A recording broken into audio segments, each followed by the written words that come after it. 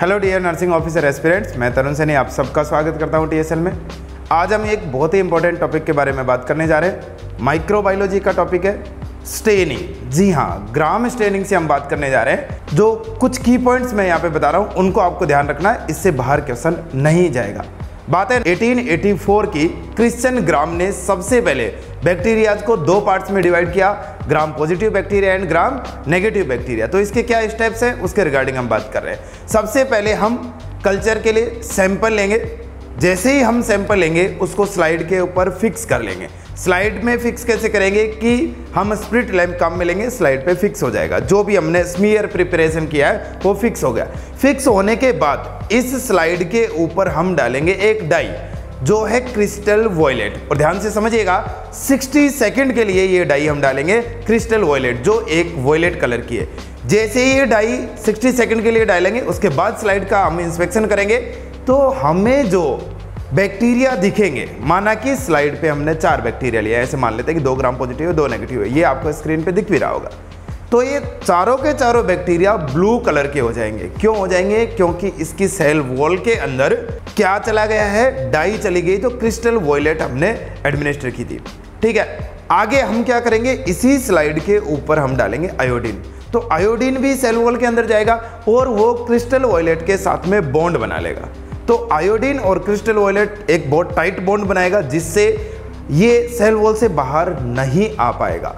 और आप देखेंगे कि अभी भी स्लाइड हम देखें तो चारों के चारों बैक्टीरिया ब्लू कलर के ही आपको दिखाई देंगे।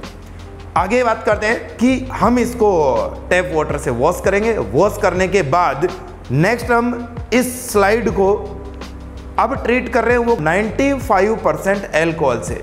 ध्यान से समझिएगा, अब हम 30 सेकंड के लिए यहाँ पे 95 परसेंट एल्कोहल में डालेंगे।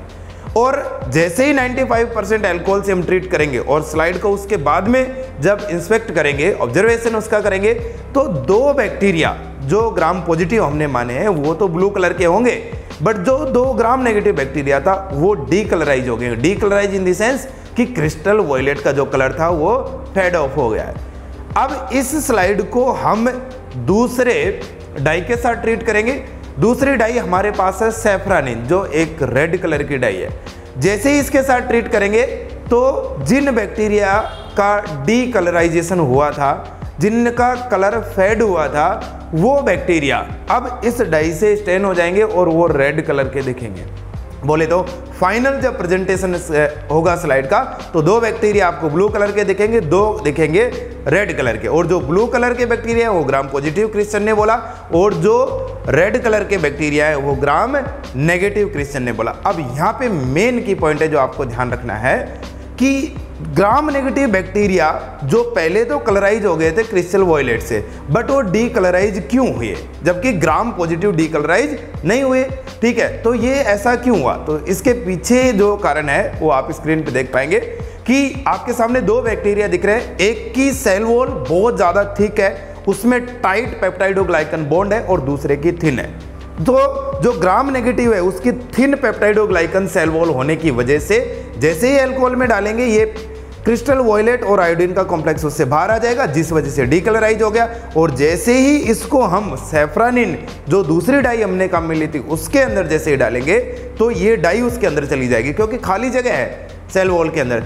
इसलिए ये रेड कलर के दिखेंगे। मेन की पॉइंट्स को मैं समराइज कर देता हूँ कि सबसे पहले हमने डाई काम में लिए क्रिस्टल वॉयलेट, जो प्राइमरी डाई भी बोलेंगे या बेसिक स्टेन बोलेंगे। 60 सेकंड के लिए, उसके बाद में हमने आयोडीन डाला है। 60 सेकंड के लिए जो बॉन्ड बनाएगा दोनों का। उसके बाद हमने एल्कोहल के साथ इसको डीकलराइज, डीकलराइजिंग एजेंट की तरह काम में लिया है। और ग्राम नेगेटिव बैक्टीरिया डीकलराइज हो गए, जबकि पॉजिटिव अभी भी ब्लू कलर के, उसके बाद सेकेंडरी डाई और इसको काउंटर स्टेन भी हम बोल सकते हैं, जो हमने सेफ्रानिन काम में लिया है, जो रेड कलर का है, इससे ओनली ग्राम नेगेटिव कलराइज हुए क्यों? क्योंकि ग्राम पॉजिटिव की तो सेल में पहले से जा चुका क्रिस्टल वॉयलेट और ग्राम नेगेटिव की सेल खाली थी, उसमें चला गया सेफ्रानिन इसलिए फाइनल प्रेजेंटेशन में जो ब्लू कलर के दिख रहे हैं, वो ग्राम पॉजिटिव बैक्टीरिया और जो रेड कलर के दिख रहे हैं, वो ग्राम नेगेटिव बैक्टीरिया यदि आपको इन बैक्टीरियाज के स्ट्रक्चर से रिलेटेड या इन कंसेप्ट में कोई भी प्रॉब्लम है, कि आपको लगता है कि डी कलराइज यही क्यों हुआ? वैसे तो मैंने इसका रीजन बताने की कोशिश की है। और भी कोई चीज़ कि एसिड फास्ट स्टेनिंग के बारे में बताओ या और भी कुछ है तो आप कमेंट करके ज़रूर बताएँ। हम डेफिनेटली दूसरा वीडियो इसके ऊपर लेके आएँगे। ऐसे ही और वीडियोज़ के लिए सब्सक्राइब कीजिए T S L Tarun Saini lectures जय हिंद।